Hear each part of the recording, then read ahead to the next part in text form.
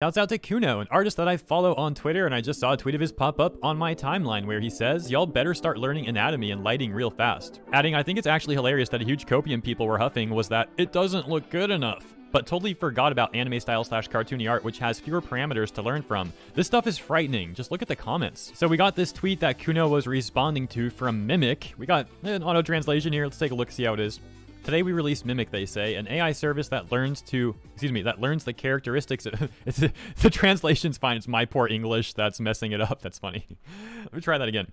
Today we released Mimic, an AI service that learns the characteristics of Illustrator's drawings and generates illustrations. You can you can create an illustration maker illustration generation AI for free up to two times. So if you want to learn your own illustration, please use it. All right, you got these little diagrams here. The tweet itself getting over 45,000 likes, and they would add, when you upload about 15 to 30 character illustrations, Mimic automatically cuts out the face and the AI learns the features and generates an illustration. Please note that you can only upload images that you have drawn yourself according to the rules. And they would end with some credits to Mr. Yoshiro Kanoki, Mr. Tantanman, along with other illustrators who cooperated in the interview and illustration publication as well as the opinions and uh, encouragement from everyone else. First response Who benefits from this service? An illustrator enjoys delivering commissioned pictures? That's all I can come up with. Another top response reads One of my favorite artists has already deleted all of his illustrations from Twitter as a countermeasure for this service. I thought that some of them might even hide their illustrations on Pixiv or other illustration posting sites,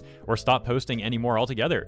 Thinking about it, I think it's really an artist killing service. Do you have a system in place to take responsibility in case of misuse? It says that Mimic can freely use the rights to the pictures created from the uploaded illustrations, but does the same apply to illustrations made without permission? Is there a system in place to distinguish between unauthorized use and official use? Yeah, as we read in the rules, it seems that they only want people to use the service with art that they created. It's a good question though, what's stopping people from not following that rule? Now I hate to say it because I may just not fully understand this AI thing and how it all works. It does look like this will overall hurt independent artists more than help them though, and you can see that sentiment reflected in the top comments as well. Now, maybe some people will argue that this is better for the consumer. I'm not making that argument right now. I want to focus on the artist because, like I said, this seems like it'll only really hurt artists for the most part. There's a couple situations I can see where it may help artists. For example, if the artist themselves wants to make a character and then they use the AI program to get more art of that character for whatever reason, I suppose artists can use it themselves, and that's the idea.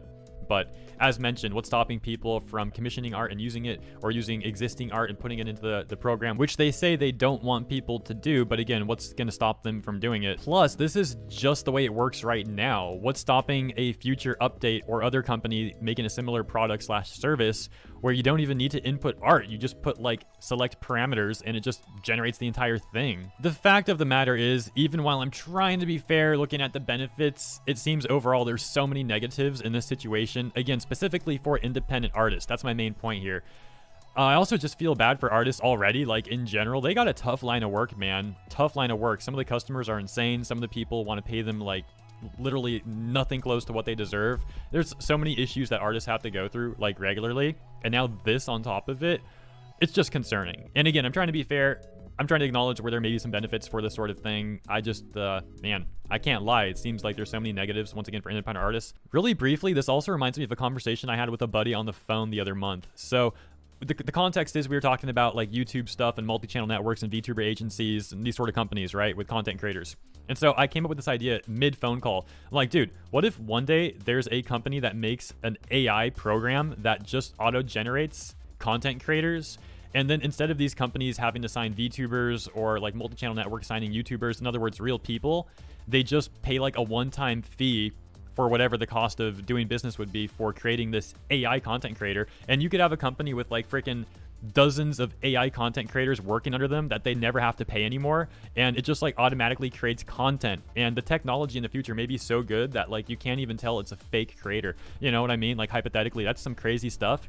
And it kind of seems like that's similarly playing out right now for artists. Like, dude, um, I don't know. It's kind of kind of disturbing. Again, there's got to be some benefits to this stuff. Overall, though, it just seems creepy, disturbing, and too much negative stuff going along with it.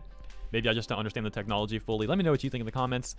And to the artists out there, I feel for y'all. You know, I try to defend artists when they get harassed on Twitter fairly often. I try to support artists as much as I can. There's probably more I could do too. I'll try to do more. The, point is, though, like, it's a it's a line of work where I have a lot of respect for these artists. A lot of the time they just want to like make people happy and smile with their art. And they got to deal with so much just awful stuff in their line of work, man. It's so rough. Like the odds are stacked against them. And again, it's just a group of people that for the most part want to make people happy with their art. It's really sad stuff. Let me know what you think in the comments. Thank you all for tuning in and I'll see you there.